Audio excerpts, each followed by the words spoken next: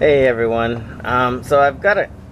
I actually just saw Arizona.net or ArizonaOffroad.net uh, post a video about the new rear bumper they got, and that's pretty cool from Rock Hard 4x4. Um, they did get an Iron Rock Off Road tank armor, and uh, they. I, I saw this. It was like a three-man operation uh, to do it, and believe me, when I first installed this one, it was a four-man operation. um, but I installed another one for a friend, and I actually did it by myself, and that's what this video is about. How to install this by yourself. So,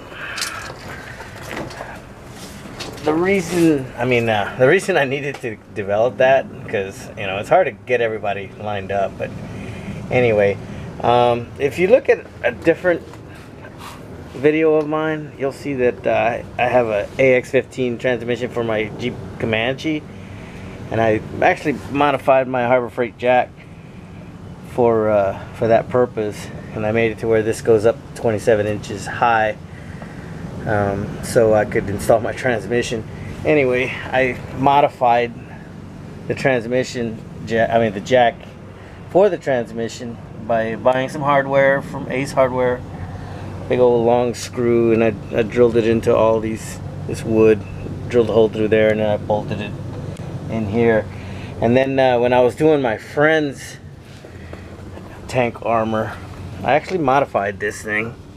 Um, and what I did was I uh, got two more pieces of 2x4 and I just uh, drywall screwed into you know into the top of it and I actually just set the uh, the whole tank plate on this you know and it was very stable. And I rolled it right in. Rolled it right in and uh, as you can see very easy. You know lift the whole vehicle up like this.